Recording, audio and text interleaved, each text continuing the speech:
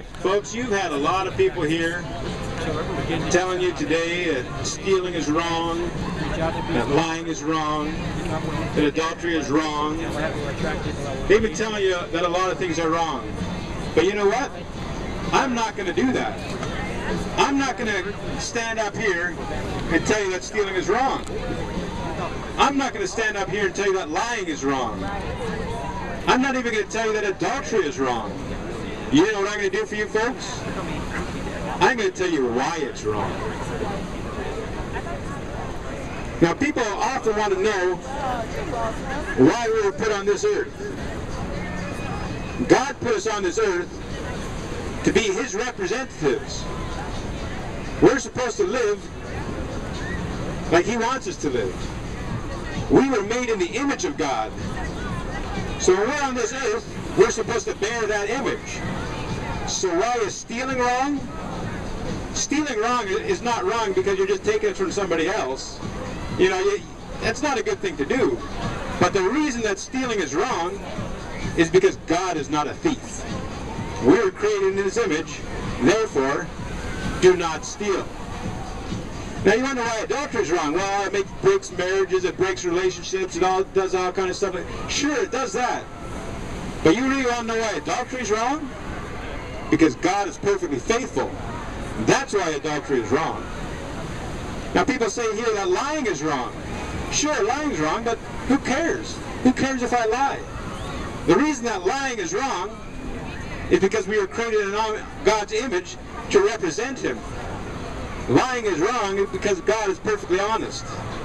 And that's why we should not lie. Now the problem is, every one of us lies, steals, commits adultery in our hearts. It makes each of us unworthy of God's grace.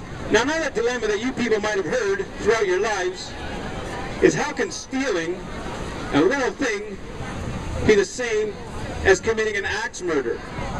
You might be thinking, you know, Christians tell me all the time, well, all sins are the same. Well, you know, that's not true either.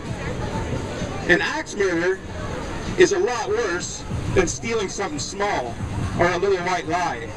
But I'm going to tell you something else. Both of them are lying about God. That's why they're the same. They're not the same in severity, but both of them are lies about God. And both of them des deserve an eternal punishment. Now I got a question for you people out there. When you ask God for forgiveness, do you ask Him for justice or do you ask Him for mercy?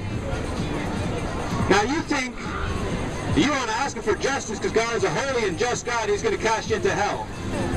But how many people out there think that when you ask God, you ask Him for mercy?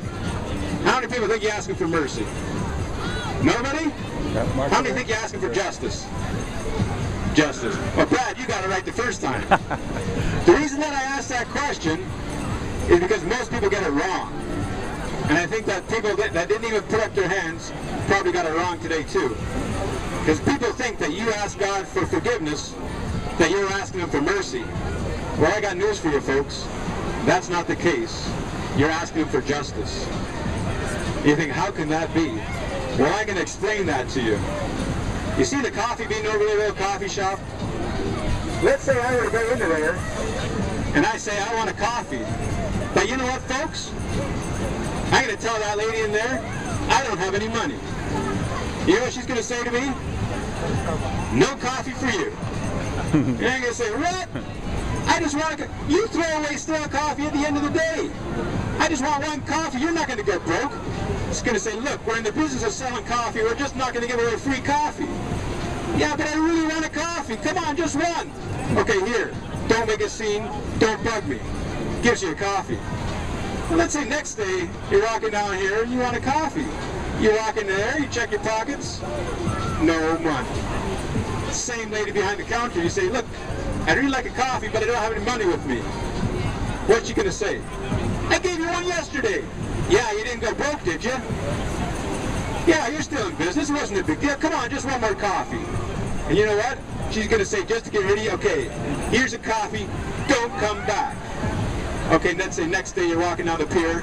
You're going down the pier, you're walking to the coffee bean there. As soon as you step in the door, she's going to say, you out. You know why?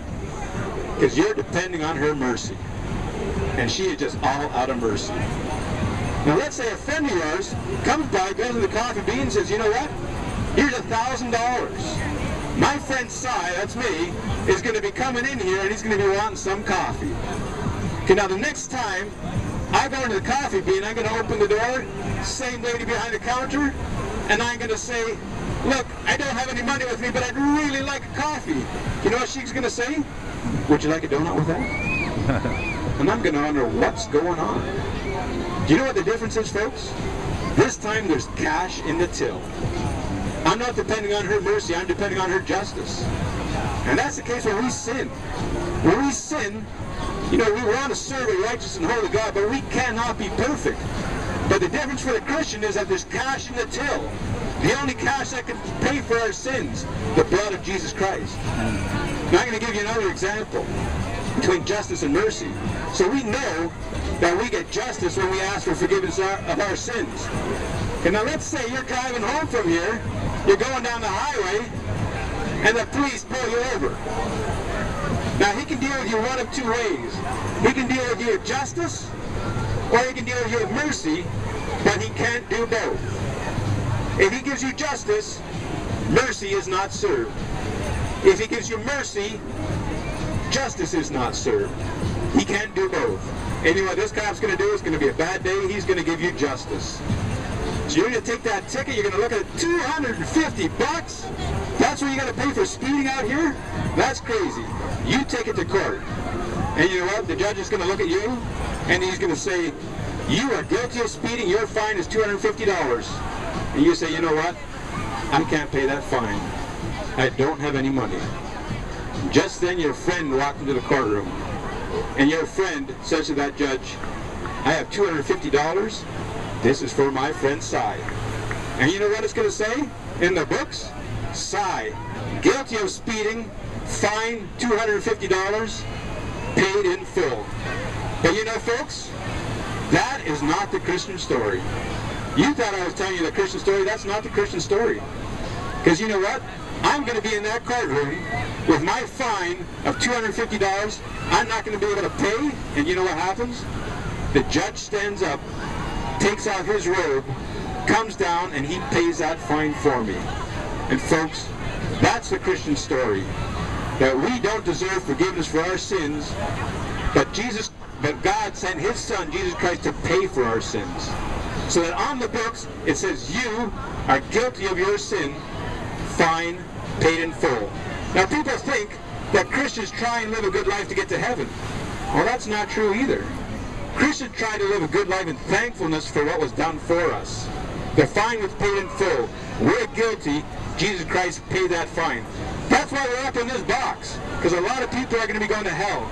And what we have to do is repent and turn to Jesus Christ so that when we stand before a righteous and holy God, our sins will be paid in full. Now I'll give you one more example and I'll turn this over to somebody else. But I'm sure that walking up and down this pier, you see a lot of homeless people. Some of them don't smell so good. They go, don't go to the bathroom, you know, they might even do it in their own clothes. And you know what? I know a fellow who saw someone like that one day. He saw a homeless person out here. And he said, I'd like some money.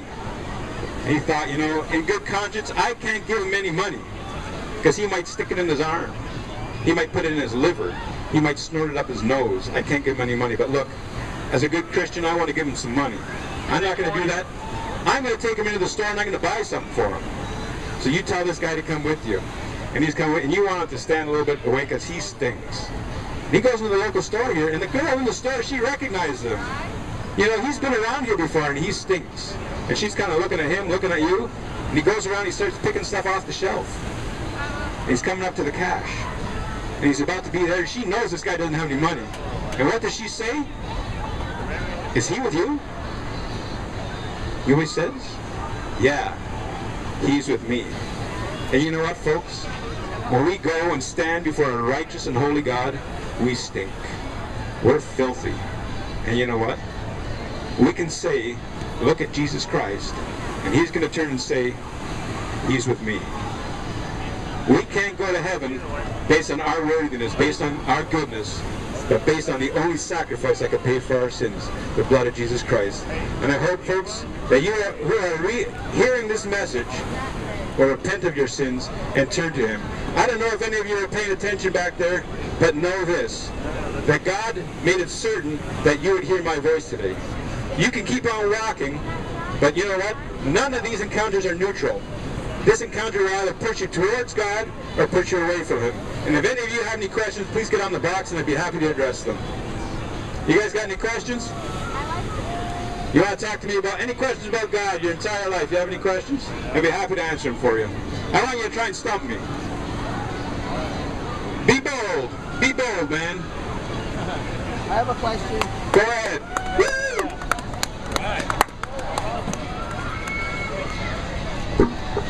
What's your name, sir? Uh, my name is Satan. Satan? Yeah. I don't believe you. All right. My mother was crazy. Here's my question. Do you have any evidence whatsoever at all that there even is a God? I do. Uh. Where is it? You want evidence that there's a God? Bring it on. Okay. The very concept of evidence is evidence that there's a God. You know why? Because evidence, hang on a second, let me finish the answer. Let me try to understand. The very concept of evidence is evidence that there's a God. Yeah, that's right. That makes a lot of good sense. Okay, well, let me finish. Let me finish. What does evidence require? Evidence requires truth. Evidence requires knowledge. And I'm saying that you cannot have truth or knowledge without God. Now, you might deny that. Hang on a second. Actually, evidence is what we use to figure out what the truth is. But here's an idea. How about if there's a God, why doesn't he just come and talk to us? He has. Now's a great time. Let's invite him. He has. Let's Okay. invite him. Would he come here right here? Because I would love to be a believer. Bring him on. You would love to be a believer. I would love to Okay, be a believer. so Where is he? hang on a second. Let me finish. Now, what I'm saying is that you I don't want to talk to you. I want to talk to him. Yeah, okay, well, we are his representatives right now. That's right. So he should come here and speak to us. He is through us. Where is he? He is, he's speaking through us. I'm listening. Should, Okay, should we wait? Well, you're not listening because you're not answering my questions. I'm saying... I want to hear from him, not you. I'm speaking according to what he has revealed to us in his word.